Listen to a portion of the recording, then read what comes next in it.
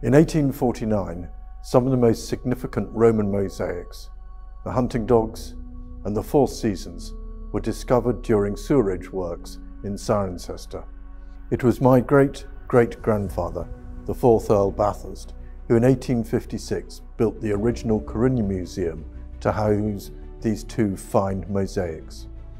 The Bathurst collection, together with the Cripps collection, were then gifted to the town in 1936 along with the second Corinium Museum being established here in the Park Street on this present site.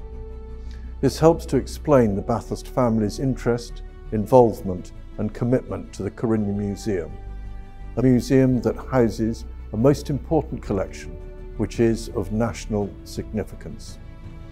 It cannot be underestimated how important Corinium was to the Romans. It was their second largest town in the British Isles and the capital of the west of Britain. An amazing feat. The Friends of the Museum is a charitable trust set up in 2006 to promote, support and improve the display of collections and articles of historic, archaeological or local and national interest. The Trust also exists to assist with the acquisition of additional artefacts and visiting exhibitions. Essentially, we support and fundraise for the museum, and we have a wonderful time in doing so. I shall hand over to Tony Berry to explain further. Thank you, Lord Bathurst. Our aim is to encourage public interest and involvement in the museum. One of the ways we do this is through our fundraising projects. Our Going for Gold appeal enabled the museum to raise £3,000 in public donations and secure through that a further 17,000 in grants from various funding bodies, which enabled us in turn to purchase a rare Bronze Age hoard dating between 13 and 1100 BC, which became available via the Treasure Act.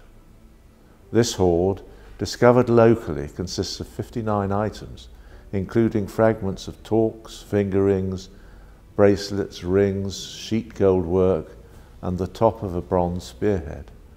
It's quite an incredible story, and one that has been pieced together and can now be told in perpetuity, as this collection is now ready to view in the new Stone Age to Corinium galleries. It is spectacular. History is so important, and to support a place with so much local history and national heritage is an absolute honour. It is such a privilege to be president of the Friends of the Museum to support this launch of Stone Age to Corinium and to be able to carry on the Bathurst family's commitment to and passion for the Corinium Museum.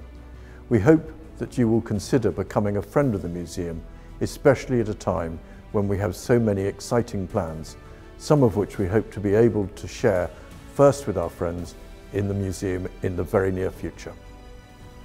We are grateful to all our friends for their support and do urge you to consider joining us. Let's commit to exhibiting and showcasing even more history.